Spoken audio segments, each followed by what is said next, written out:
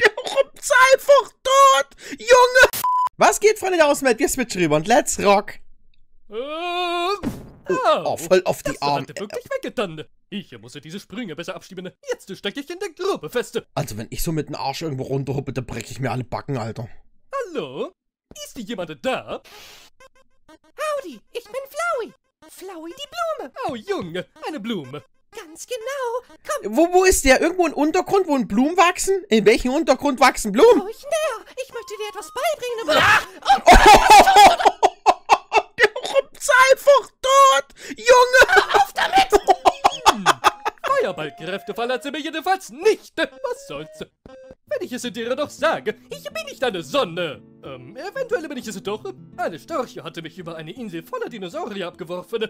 Meine Stammebaume Recht hatte ja, recht hatte ja. Naja, nicht, man kann nicht abgeworfen sagen.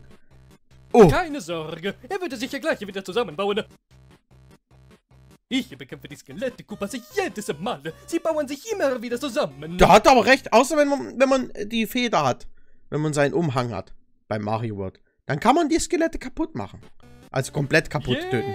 Jederzeit. Also ich glaube, der lebt nicht mehr. Jederzeit. Och Mann. Jetzt. Jetzt. Jetzt. Vielleicht jetzt? Ja, Luigi, Ach, ich sage es dir. Es ist ja so, als wäre deine Tumblr-Seite eine Videospiele. Aber irgendwie will ich immer noch, dass sie alle rummachen. Wo ist Ist der? das seltsam?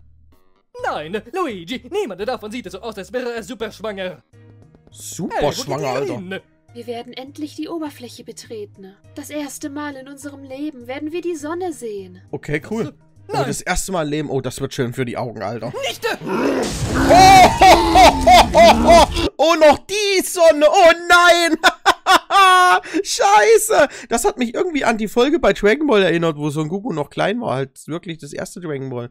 Da ist ja Son Goku auch in so eine Höhle gegangen, wo Leute, wo solche Wesen drin sind, solche Dämonen, die nur äh, in der Nacht rauskommen dürfen und nicht die Sonne sehen dürfen. Oh, das war's.